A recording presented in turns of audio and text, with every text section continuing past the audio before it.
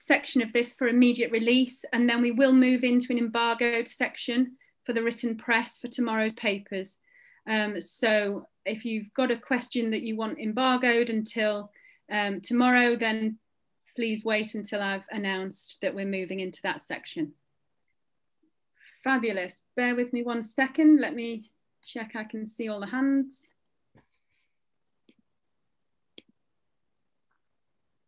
I would personally like to start, if I can, with TV, but I don't see any hands there. I'm looking at Jess.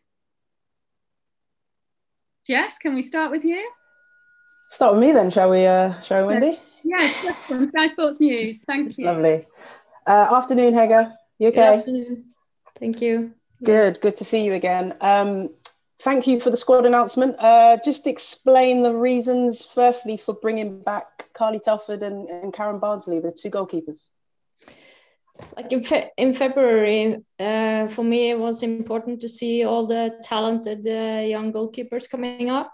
Um, now, this camp, we have two games. Uh, and for me to see the experienced player as well you know, in the Olympics, uh, it will be tight. Uh, and the experience is also important. So this is for Carly and Karen to see to show uh, their experience coming into camp again. Okay, and um, a first call up for Niamh Charles as well. What what struck you about her? What what made you want to bring her into the camp? I see the talent, uh, the physicality that she has shown now growing into the game uh, due to injury in Chelsea. She she came on in the Champions League game, played uh, more and more minutes in those games, uh, and I'm excited. She growing into that uh, game, so to bring her in to to see her in our environment was important for me.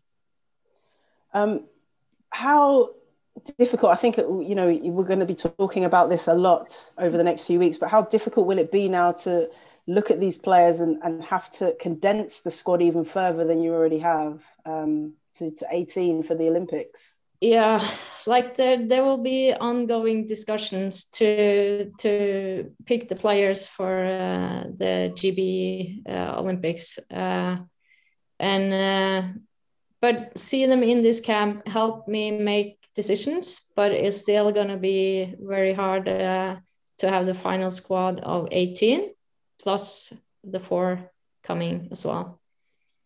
And how are things progressing looking at other players uh, outside of the england camp to join the gb squad? Are you still in contact with those players? Are you still able to watch those players yeah we we follow uh, every player that we can. And like the support uh, i have with coaches that are going to games and, and see wider players with the home nation. So i feel like we are uh, have a good view of the player all of them and I wondered whether you had any uh, follow up comment to make about the way that some of the players were found out uh, about whether they were included or not in the Team GB squad. Yeah, that was that. The timing was uh, uh, not my call, but it was not how I want to work. So that was a big uh, mistake of us. And as soon as we found out, I called uh, both the coaches and and Hannah, uh, of course, just to apologize the process uh, of that. So that was a mistake that we don't want to happen again. Of course, um, and looking ahead to a, a big match, I suppose you can call it against France, um, a team with so much experience, third in the world. What are you looking for from these players to, to be able to be successful in this match? Uh, the the what we're aiming for is to have a good performance to win both games against the tier two, tier one uh, opponent, and and meeting France is the probably the best we can right now. Meet up and see after that game we can go back in and see what we need to go further with. Um, so deliver under pressure will be key because many players know that they play for a Olympic spot as well. We can hide that because that's the reality. So that will be uh, for us to perform well as a team uh, against uh, a good opponent.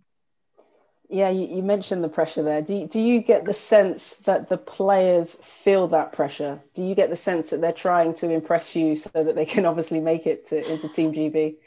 Like uh, the pressure will always be there when you you coming closer to make a squad, and but that's the reality that they live under, and what they do every day is is important uh, for the club so it's it's more for us to pick see through the get through that games uh, who can who coming into uh, the camp and also there perform uh, well. Thanks, Hege. Good luck. Thank you. Thank you very much, Jess. Could we go next to Alistair Magowan for the BBC, please? Hi, Hege. Hi. I, I just wondered, um, obviously you're missing uh, Steph Houghton through injury, and I'm I'm right in thinking that Nikita Parris is um, because Lyon couldn't let her go. Um, can you explain how hard it will be to deal with those without those two players? There will always be players that cannot come in, like due to injury, due to things that we can control. And I feel like that's an opportunity for others to step up and show that they want to be a part of this. Uh, of course, Steph uh, has been captain for how many years, and uh, of course, a major player for a long time. Um, we cannot uh, replace her, but it's an opportunity for a younger uh, player to step up. And that's what we are looking for now. In terms of Nikita, we, we uh, she didn't come in for February. So hopefully we can look later uh, in the camp that she can join, come in for the last part, but we don't know. So that's that's the world we are living in right now. Uh, not only injury, but uh, other things that can uh, be challenging as well. I just wondered about Nikita. Obviously, you're playing France in France. She's in France, so she could she have not come to that game? Uh, I don't know all the details in there, so that will, that will, I need to hold back on my answer that okay. until we know no more. Um, one of the things you met, uh, the other thing was um, uh, Beth Mead is back in the squad. Uh, I think last time around you said her her player report wasn't good. Is her player report better this time? It is, and uh, also that we have seen her in the camp. She came in late for uh, the last camp when we had some injuries, and she was good, and uh, and that's why we are giving her another opportunity to come in. And she also played many league games between these camps as well. And another player I wanted to ask you about was um, Lauren James at Manchester United. Um, she's been sort of winning good reviews this season. Is, is she close to being in the squad? Why didn't you choose her this time? Uh, due to injury, um, playing time, and of course, uh, there's internal discussions around that that I can't uh, talk about, but she's a player that we follow. Yeah, so she's on your radar then. yes. As it were. And just last of all, can I just ask you about um, playing in France? What sort of challenges will there be playing abroad for your team? Uh, that it will be a good experience for us to travel. Uh, we only travel the day before, uh, so that will be uh, like almost like we do in, in uh, Olympics as well. Short time between, so it will be a good uh, test for us how we respond to that. Okay, thank you. Good luck. Thank you. Thank you, Alistair. Could I go next to Asif Burhan for Forbes, please?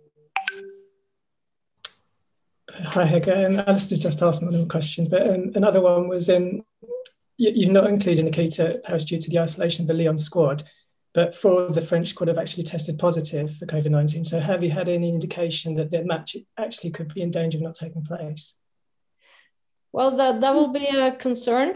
We uh, still don't know, but our plan, hopefully, we want that game, but we don't want to risk anything. Uh, but our plan is to go to France and play, uh, and we haven't heard any different. Okay, thanks, Hege. Best of luck. Thank you, Asif. Can I go to Sophie next for Girls on the Ball, please? Hi, Hege. Um, just a quick couple. Uh, you, the, the Lionesses haven't travelled abroad since March 2020. Um, this is going to be the first time. Do you feel you, uh, whereas other teams have been able to because of the qualifiers or, or whatever, do you feel you need to have an extra level of preparation over the next 10 days to get them, you know, just prepared for that that difference?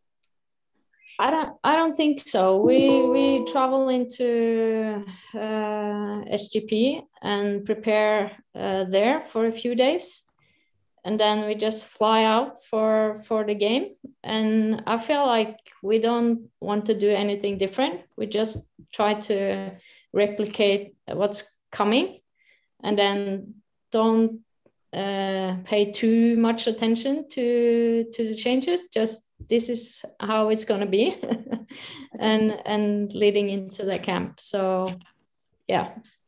And um, thank you. And just a quick question on Fran Kirby. She's obviously um, played deeper for England in the past, and than she does for Chelsea, where she operates fantastically, especially this season. You've seen what she's able to do. Where do you see her position within this England side? I think she has the versatility that she can play a different position. Uh, obviously, her performing for Chelsea now has been awesome, and uh, and really helped Chelsea to to be at the place they are now. Brilliant, thank you. Thank you very much, Sophie. Could I go next to uh, Dom Smith, please, for EnglandFootball.org? Thanks. Hi, Hege. Um, I think I'm right in saying that 20 of the 24 players um, that you've called up this time belong to either Man City, Arsenal, or Chelsea. I mean, how much of a compliment is that to those three clubs, the quality of players that they've got and the quality of football that they play? Um, I would say they are doing a great job now. Uh, also playing in the Champions League, give they the international experience for young players uh, in that and. Uh, they are used to the level of play and can easily adapt to uh, the international level uh, also. Uh, and do you expect um, friendlies against France and, and, Canada to teach you a bit more about your team than the game against Northern Ireland? Because perhaps these two teams are more evenly matched with yourselves? Of course, and and these are the teams or the level uh, that we will meet in uh, Olympics. So this will be two great games for us, and of course, excited to finally have uh, a tier one op- opponent as well. So. Uh, starting with Northern Ireland, they gave us uh, a good uh, competition, and it was good for us to start. And now leading into the Olympics and closer, then we get the tier one opponent to play. Perfect. Thanks. Best of luck. Thank, Thank you. you, Tom. Um, I'll move into the embargoed section um, in about five minutes' time. So just to double check that everyone who currently has their hand up is happy for this to be for immediate release. Uh, I'll go next to, sorry, I'm just having some trouble seeing the hands. Bear with me. I think I think I might have frozen. Okay, I've got them. Sorry. I'll go to Alex um, Ibaseta, please, for Vavel. Thank you. Hi, Hege. Just a, a quick from one from me. Um, when it when it comes to, to nailing down between two players, for example, would you prioritize versatility over maybe the player report, for example? Uh, good question. We have like a few key points that we uh, look into. But it's not that all players should have all three of them. So it will be a mix. and it's also uh, for me to kind of build a good team that lead in and it it uh, we look at all the players report we look at the behavior we look at uh, delivering under pressure so it's different criteria and some might come in for 20 minutes and be the success in the olympics so that's the dis- ongoing discussions uh, that we do with all the all the players selections and a quick follow up on that one: when you have these that situation where you have to pick between one, or, one player or the other, what's the main priority that you're looking for in that? Depending how the rest of the squad looks like, so it's not obvious answer. Sorry. No, that's fair. Thank you. Thank you, Alex. Could I go to Dan Pentland next, please, for WSL Full Time Magazine? Thanks, Wendy. Hiya, Hege. Hope you're well. Um, Georgia Stanway is a player that we know can play in a lot of different positions, and she played in a, an unfamiliar um, defensive midfield role against Northern Ireland. Yeah. Um, you kind of tinker with different positions, you know, in, in the upcoming two games, um, to or do you have one position in mind for her? Uh, I will I will go I cannot go into detail because we are still planning how we're going to look against France, how we're going to look against Canada and build the training and everything. So uh, in February, uh, when um, Keira had to step out, uh, Georgia stepped in in that position. So it might be different uh, uh, going into this France game as well and Canada game. So we have two games to kind of uh, get everything we need to see in place. Thanks, Edgar. That's great. Thank you. Thank you, Dan. And last one before we go to the embargo section, Tom Dean from the FA, please. Hi, Tom. Thanks, Wendy. Hi, Hege. Hi. Hi. Uh, I just wanted to, to quickly revisit um, Niamh Charles. Lots of fans will be really pleased to see her included. Um, what is it that, that you've liked um, about seeing her play? Uh, now I've seen her is a number two position, um, and she can also play a seven or a three position. So, but what's impressed me when I see her in the Champions League game, the physicality that she has. She can go up and down the field um, you can see that she's still young, uh, not mature in some of her play, uh, but she's growing into those games. I saw the Wolfsburg game. Uh, I saw her raise the level from the Atletico game into the Wolfsburg game. So she's on a good spot now uh, with her club and also delivering uh, on the field. Cool. Uh, uh, and just from a from a player's perspective, um, how difficult is it to um, play out of position or, or or learn a new position when when you've not necessarily been used to playing there?